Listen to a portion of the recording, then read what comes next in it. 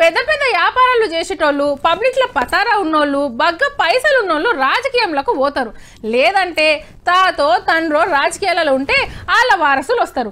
ఇట్లా కాకుండా రాజకీయాలకు వచ్చేటోళ్ళు ఇంకా కొందరు ఉంటారు. పెద్ద పెద్ద జాబులు చేసేటోళ్ళు అవి ఇడ్చిపెట్టి పార్టీల కండువలు కప్పుకుంటారు. ఈ సారు సుత గదే పనిలు ఉన్నాడట. సారు పేరు నాగరాజు నిజామాబాద్ జిల్లా పోలీస్ కమిషనరు. నాలుగొద్దులు అయితే లీడర్ అయ్యేటట్టున్నాడు. ఎందుకంటే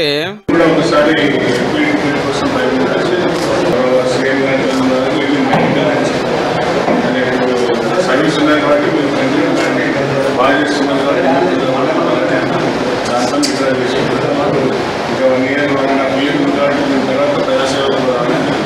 అర్థమైందా? మున్పు సీఎం సార్ కలిసి టీఆర్ఎస్ ఎంపీ టికెట్ అడిగిండట.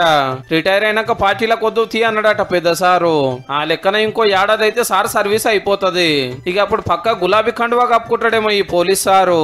మరి ఎంపీ టికెట్ వస్తుందా రాదా అనేది ఇంకా చిరుమొచ్చట కానీ కడుపులో ఉన్నదైతే బాజాబ్తా చెప్పిండు. మొన్న కలెక్టర్ గారు టీఆర్ఎస్ కండువా మెడల్ వేసుకుంటే రేపు కమిషనర్ గారు వేసుకునేటట్టుండు. తెలంగాణలో అధికార పార్టీ లీడర్ కావాలని అనుకునే ఇటువంటి ఆఫీసర్లు ఇంకెందరు ఉన్నారో పో